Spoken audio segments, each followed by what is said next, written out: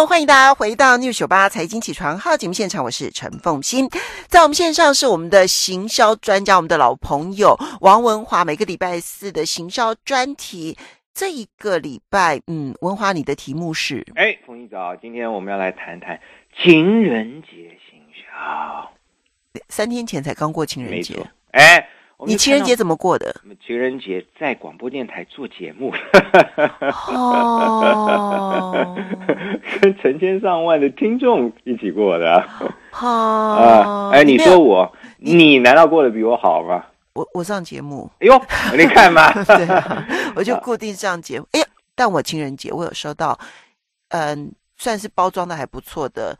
一小包的巧克力，真的啊？对我先生送我的哦，那不错哦。但是是我女儿买的，然后跟她讲说叫她送给我。恭喜恭喜！我情人节有收到扣缴凭单。我觉得我女儿比较知道要过情人节。真的，嗯现在很多的商家就针对像你女儿这样年轻人，设计了很多情人节的促销花招。对，我们来归纳出三大项，给各行各业的朋友来分享一下。嗯啊，第一个啊。情人节或是其他节日的时候，要借由送特别的礼物来吸引消费者的注意。而且我真的是要告诉所有的这个企业哈，就是说，尤其是所有的零售业者，一定要想尽办法利用节日，或者甚至于创造节日都好。哎，因为你利用节日创造节日，有一些平常不消费的一些商品，或者平常可能可有可无的商品，你就可以利用节日大大促销。没错，好。所以说要想尽办法利用节日，然后你要送礼物，你要符合那个节日的特性啊。比如说，哎，风音情人节通常情侣之间都送什么小礼物啊？有巧克力啊，巧克力对不对？还有什么？玫瑰花。哎呦，你讲这两样讲对。所以这个花博，哎，有一个未来馆，有听过吧？有有有。他情人节促销，他就特制了一个玫瑰。花心巧克力作为礼物来送给大家。礼礼啊，什么叫 玫瑰花？玫瑰花心，你想看巧克力里面有玫瑰花吗？玫瑰花里面有巧克力呀。哦，是玫瑰花里头有巧克力。哎，那那个玫瑰花可以吃吗？可以吃。啊，那特别是南投普里镇农会培养出来的没农药的玫瑰花。因为玫瑰花是只有少数，它就是一培养的时候是为了食用用的玫瑰花才可以吃哦，是不是？不是。就是你即便没有撒农药，也不代表这个玫瑰花可以吃哦，必须要是特定的。对，所以说你看，呃，玫瑰、巧克力都是情人节特别的东西，再加上花博本身又是跟花有关，所以他把三者结合在一起。哎，很多人就冲着这玫瑰花跟巧克力去参观花博啊。然后还配上花的心藏在蕊中，没错，对对对对啊，所以未来馆有送特别礼物哈。除了未来馆之外，啊，汽车旅馆也有送特别的礼物。对，汽车，我跟你讲。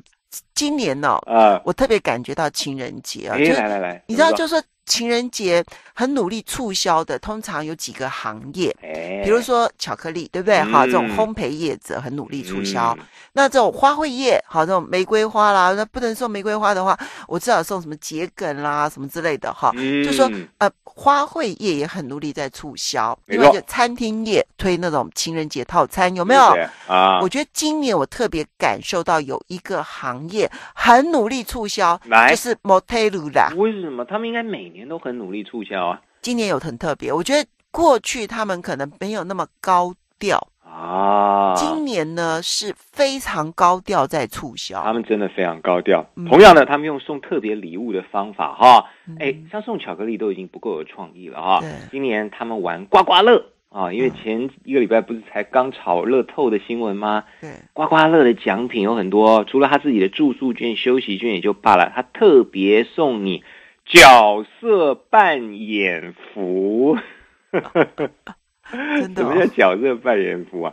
公主王子的衣服，管家女仆的衣服，男女泰山的衣服，医生护士的衣服，八种造型啊，任你选择。哎，文华，你下次调查一下，哪一种角色扮演服最受欢迎？好，我的猜测是护士跟学生制服。没错，嗯，哎，这个这个这个五年前。不要说五年前，三年前都没有人想到这样玩。对啊，哎，现在他抓现在年轻人真的是啊，好厉害哦，对不对啊？所以这个送特别的礼物，特别是要符合你这个时机、这个时节的礼物，然后让大受欢迎。大受欢迎啊啊！而且呢，欢迎到什么程度呢？啊，你可以直接加价，你就可以把它买下来。好，你也不用抽了，你也不用刮了，哎呀，卖的很好嘞。哦，啊，送礼要送到心坎里，要送到时机里啊，所以这是第一个送特别礼物哈。嗯，第二个叫玩游戏，好，玩游戏啊，哎，玩游戏现在玩的越来越大了。这平人节前夕啊，这个台湾奥黛丽旗下有一个少女的内衣品牌啊，叫做十八粉红色啊，它在台中啊，它要促销它的品牌，它就举办一个情人节闯关游戏，你只要跟你的男女朋友来。玩一些游戏，就像综艺节目看到那些，比如说嘴对嘴、草莓接力啦，哈，一个气球夹在两个人之间的爱的抱抱啊，爆炸的爆啊，嗯嗯，哦，你只要过关，你就可以可能得到一万块的冠军奖金。哦，哎，你听起来我蛮想去玩的。没有啊，你不觉得我很冷淡吗？都过玩这种游戏的年纪了。但 对对啊，哎，我们那个年代好像都是那种什么。谁抱的最久啦？哈，然后谁接吻的时间最久啦？哈，好像大部分都玩这种游戏嘛。你那时代有接吻，我那时代背后丢手帕就已经很劲爆了。文华，我们是同一个时代的。所以你看，现在玩的很大方，很有趣哈。对，就是要要要要想新花招，要想新花招。嗯啊，几点啊？比如说这个维格哈汽车旅馆的。龙头啊，他也玩一个游戏哈，他让你集字啊，他把他的名字拆成 We Go 维格四个字哈，那你只要集中两个字嘞，哎，送你休息券；那你集中四个字嘞，送你住宿券。你要注意啊，就说呢，一定必须是。呃，你跟你的女朋友或跟你的太太，嗯，然后一起去玩这个游戏 所取得的休息券或者住宿券，你才把它放到皮夹里头。没错，否则的话呢，你的皮夹里头出突然出现了休息券或者是住宿券，嗯，那被发现之后，哦哦哦，那。以后的情人节就难过了哈。好，我们休息一下，马上回来。Hello，欢迎大家回到 New 九八财经起床号节目现场，我是陈凤欣。在我们线上的呢是我们的老朋友王文华，文华带来的情人节的行销。那当然，这些手法都是你在。不同的节日里头，稍微换一些变化都可以用的啦。比如说送礼物啦、玩游戏啦，哈，这些都是你这种节日促销上面最常见的手法。没错，好，我们讲第三点，玩游戏啊。现在这种丢手帕的游戏，年轻人没有兴趣，还没刺激，太保守了。对，所以现在这些促销的厂商为了要玩游戏，都把游戏啊玩到甚至到了一种挑战顾客的地步。哎，什么意思？我们来举一个例子哈。哎，今天礼拜四，哎，昨天昨昨天是什么节？不，今天了，今天元宵节。哦，对，今天元宵节。今天元宵节，对，今天元宵节。嗯，然后礼拜一是情人节，对不对？对。所以这个聪明的叶子，他就把这两个节日合在一起玩啊。怎么说呢？啊，台北灯节，每年大家都很期待，对不对？对。啊，台北灯节就玩一个挑战顾客的游戏。他说啊，只要你这情侣啊来逛灯节啊，你愿意上台啊。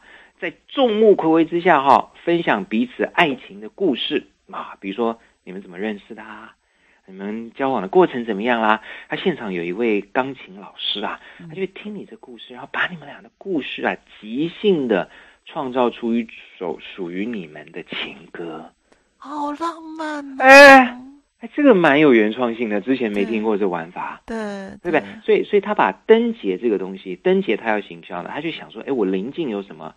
哦，我临近有情人节，他把情人节灯节拉起来，再用一个挑战顾客的方式，嗯，进行了行销。就好像过年大年除夕的时候，我看到有一台啊，哎，来来他们的那个特别节目，就他们是在小巨蛋举办的嘛，好那种那种什么红白对抗这样子，他现场跟观众说，就你参加的那个观众说，有没有人当场要求婚？如果有人当场求婚，而且求婚成功送钻戒，哎呦！